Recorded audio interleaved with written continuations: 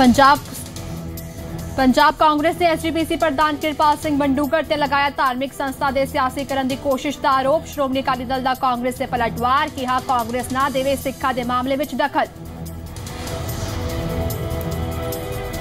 ਸਿਮਰਜੀਤ ਬੈਂਸ ਦਾ ਸ਼੍ਰੋਮਣੀ ਅਕਾਲੀ ਦਲ ਤੇ ਵੱਡਾ ਹਮਲਾ ਕੀਤਾ ਬਾਦਲ ਪਰਿਵਾਰ ਦੇ ਇਸ਼ਾਰੇ ਤੇ ਕੰਮ ਕਰਦੀ ਹੈ ਐਸਜੀਪੀਸੀ ਸਰਕਾਰ ਤੋਂ ਬਾਹਰ ਹੁੰਦੇ ਹੀ ਕਿਉਂ ਹੁੰਦਾ ਹੈ ਪੰਥ ਖਤਰੇ ਵਿੱਚ?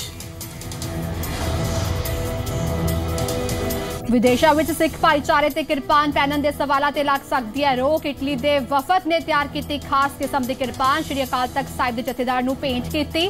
ਜਥੇਦਾਰ ਵੱਲੋਂ ਵਿਚਾਰਨ ਦਾ ਭਰੋਸਾ। ਜੀਐਸਟੀ ਨੂੰ ਲੈ ਕੇ ਪੰਜਾਬ, ਹਰਿਆਣਾ ਦੇ ਵਪਾਰੀ ਸੜਕਾਂ ਤੇ ਕੇਂਦਰ ਸਰਕਾਰ ਖਿਲਾਫ ਕੀਤੀ ਨਾਅਰੇਬਾਜ਼ੀ। ਬਠਿੰਡਾ ਵਿੱਚ 3 ਦਿਨ ਲਈ 600 ਕਪੜਾ ਦੁਕਾਨਾਂ ਰਹਿਣਗੀਆਂ ਬੰਦ ਨੀਦਰਲੈਂਡ ਵਿੱਚ ਪ੍ਰਧਾਨ ਮੰਤਰੀ ਨਰਿੰਦਰ ਮੋਦੀ ਦਾ ਹੋਇਆ ਜ਼ੋਰਦਾਰ ਸਵਾਗਤ। ਭਾਰਤੀ ਮੂਲ ਦੇ ਲੋਕਾਂ ਨੇ ਲਾਏ ਮੋਦੀ ਮੋਦੀ ਦੇ ਨਾਰੇ